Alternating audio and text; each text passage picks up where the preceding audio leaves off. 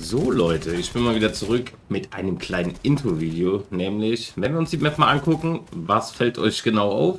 Ich denke mal, nämlich jetzt mal den erst, auf den allerersten Blick erstmal gar keinen, aber guckt mal genau hier hin. Es gibt einen neuen Krater, nämlich Krater Nummer 3. Ich habe nur gerade eben zufällig bei jemand anderem gesehen, dass der Krater da ist. Ich sehe, da war doch vorher der Außenposten. Und der Loot ist da wirklich zu krank. Aber ich bin mal gespannt, wie viele jetzt da landen, wie schnell das Ganze jetzt rumgeht. Wir gucken uns das Ganze natürlich mal an. Ich bin jetzt einfach eine stinknormale Solo-Runde reingegangen. Boah. Der Krater ist ein bisschen, ein bisschen groß. Und gucken, wie viele hier landen. Rifts sind natürlich auch da. Ihr seht schon, eins, zwei Bosskisten, drei, normale Kiste. Eieiei. Also hier ist wirklich eine Menge.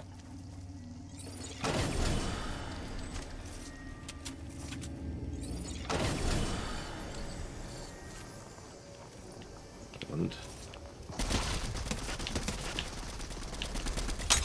Ah, du warst zu neugierig.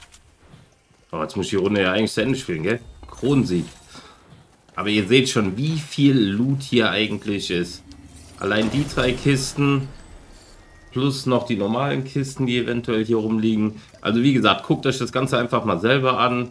Ich würde sagen, wir kommen dem Countdown langsam immer näher von der Season. Und ich habe ja gesagt, ich bin jetzt halt wirklich wieder voll in Fortnite drin. Wenn ihr nichts verpassen wollt, gerne ein Abo da lassen.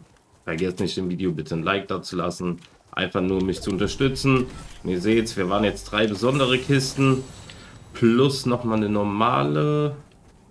Oh, ich würde sagen, Loot kann sich sehen lassen. Risiko ist natürlich nur, wenn ihr hier unten drin seid, dass ihr natürlich easy weggehauen werden könnt hier unten.